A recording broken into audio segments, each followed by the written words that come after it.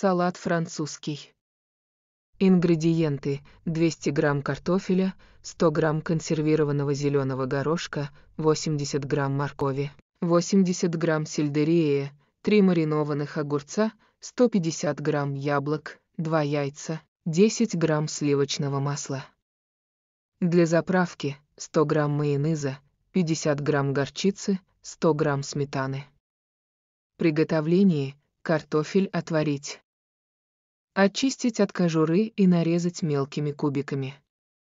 Морковь, сельдерей очистить, нарезать кубиками и тушить на сливочном масле вместе с консервированным или свежим зеленым горошком.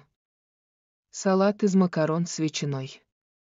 Ингредиенты: 60 грамм макарон, 10 грамм томатной пасты, 30 грамм майонеза, 40 грамм ветчины, перец, соль.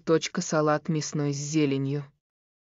Ингредиенты: 200 грамм мяса, 4 в 5 картофелин, 2 огурца, 100 грамм зеленого салата, 100 грамм майонеза, уксус, соль по вкусу. Приготовление: мясо, вареное или жареное, вареный картофель и огурцы нарезать ломтиками. Добавить майонез, соль и уксус. Смешать все компоненты, сложить в салатник и украсить листьями салата, нарезанными огурцами и кусочками мяса. Кабачки с чесночной заливкой. 3-4 кабачка среднего размера.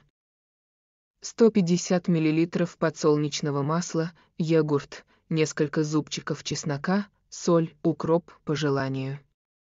Приготовление: вымытые и очищенные кабачки нарезать кружочками обжарить в масле.